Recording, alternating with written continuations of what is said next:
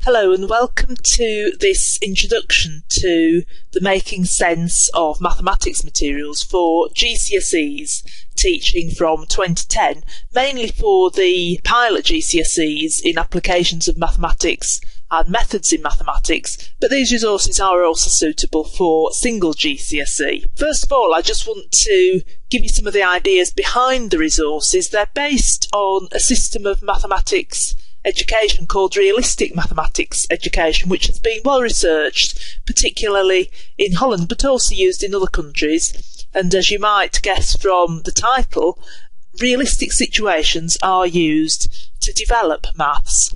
There isn't an emphasis on algorithms and learning methods. The emphasis is on students making sense through guided reinvention. And that doesn't mean that they discover the maths for themselves. It means that you, as the teacher, guide them by using the materials. And so it's important that you understand where the materials are going and how they're going to get there, which is why we've put these videos together to help you to see where these resources are heading. Most maths materials use context, and often that may be used to motivate students at the start of a topic, or to introduce some more difficult problems towards the end of a topic, or to show students places where maths might be used in real life.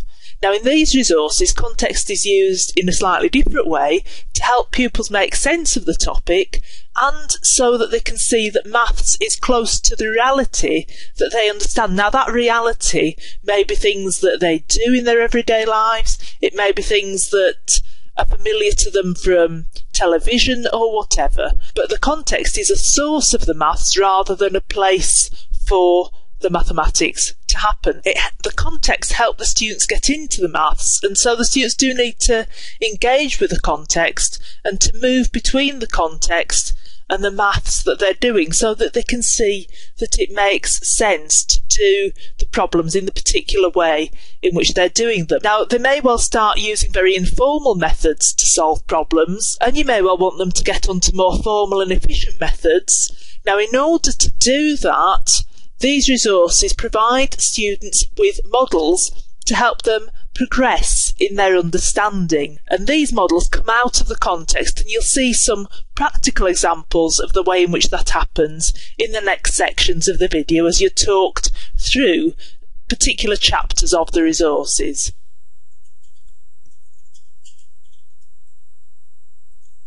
Here's some cool things. And same as before, I'll give you a bit of time to have a look at it there's some cool things. Cool game. What? So, Duncan, in 15 seconds, I'm going to ask you what you think this is all about. Okay, so have a moment to think about it. Um, so, Duncan, you have 15 seconds and a few cue clues from people. What, what, what's going on? Something to do with the olden days, yeah. Like what? What, what, what makes you think this is to do with the olden days? I'm going to put together a pool ball or something. Yeah, exactly. Go on. What makes you think it's to do with the olden days? Uh, okay, just a feeling again. An old day five.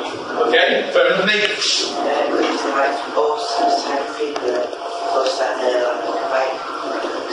an old paper, an old bike. Yeah? Anything, anything else old you see there? That's not bike. It's not. Alright, John's just coming in the room. Look, look, John, someone on the wall. What's this, John? Different things, good. You see some different things. Insightful. Uh, Duncan said it was like the olden days. Uh, Nathan saw an old newspaper, John, and a bike. There's a car. Nathan saw a bike. Uh, what, what else do you see, John? A CD player. There, yeah? Anything else? Okay, well, let's say we know that this is a, a newspaper. This is a bike, or maybe a car. That's a CD player. George, what's, what's, what did you say it? To do with the first of things, isn't it? You said that, yeah, you didn't have your hand up again. What's the tiger thing? What's the tiger thing? Let, well, let's see what we know is. That, that's a car thing, right? Uh, that's uh, the, the birds man on the moon, and it's like you said, newspaper that noticed it. One spotted that one as a CD player, so the world's first CD player. So we don't know what these three things are. I do. That's a that's a telephone. Uh, Dan, This is tiny to me like a scale. that thing there, it looks like a set of scales, doesn't it? Yeah. That's interesting, because it's not, but it's interesting that's what it looks like, so a lot of people think. Um, what's this one well? Telephone. Yeah? But it comes out of there. Speaker comes out of there. Yeah, this it's not really a speaker, this thing. You still speak like this. This is just what you have to carry with you. Carry it out. That's the world's first mobile phone. Mobile phone. It's the world's first mobile phone. So obviously you need like a wheelbarrow to bring the receiver around and then this bit here. So that's the world's first mobile phone, the world's first car, the world's first man the world's first CD player. What are these two? Set player. They're not quite. You look at this one, I think. VCR. If it's in clue, if you look on here, you might not see it. It's the world's first VCR, or video cassette recorder. And that's so old school, you probably haven't got any in your house anymore. But then we've just got this one left that looks like scales. And usually every single one of you's got one of these. Probably lots of them got in your pockets right now, but it's not obviously a mobile phone. And then a MP3 player. Calculators. If anyone in this room got a calculator on them, that was a good idea. MP3 player. We'll say it is an MP3 player. That's the world's first MP3 player. But No, I think it's meant to be in a pocket, like a gold wall, but still a big pocket. Yeah? Okay, so uh, there they are, those things, and under the green boxes are the dates of that, at which they happen. Okay?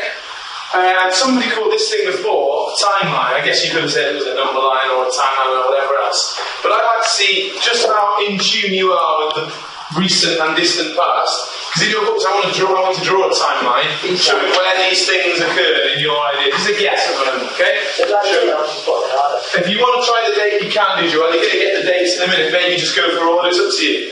But quick go at drawing a timeline for when these cool things happen. All right, now a couple of people want the dates. They want to get something wrong. I like that, I guess. But uh, let's see somebody doesn't mind getting wrong. Let's start borrow someone's book and see what they've gone for on these. Okay, so we've got our history expert. Is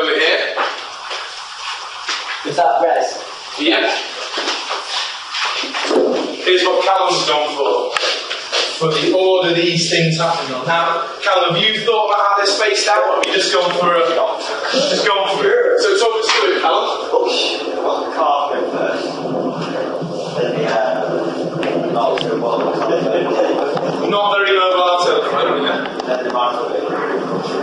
I'll say. The video, then the CD. Okay, what made you go for that order, Callum? What was it about the pictures or the things themselves? Uh, I just thought, Yes. I just thought, yeah, because we came from the CD. Okay. This worked like that. Okay, some logic, which sounds good. If you can also argue a little bit in your head what looks really old and what looks less, less different. Uh, who've got the same order as uh, Callum? Yeah. You've gone car, mobile, moon, video, CD, MP3. Okay, a few people did. You've got something slightly different. I'd like to argue that maybe Callum's wrong, or you're going to argue yourself to be wrong. Um, Jason, what did you do? You put the telephone first. So you want this phone to be down here still? Okay, anyone else got a different change and they think they should argue work? You went the car, man on the moon, then telephone. And then the rest of the same. You? Anyone else? Man on the moon and borrow mobile phone? God, it's crazy talk. Easy. Lewis? Um, uh,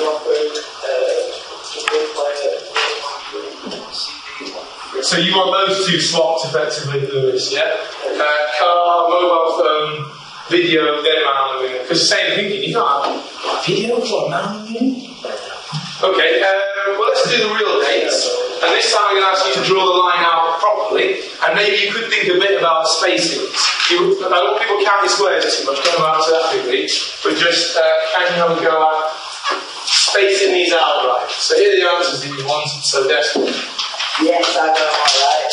You've seen one yet. The car. Okay.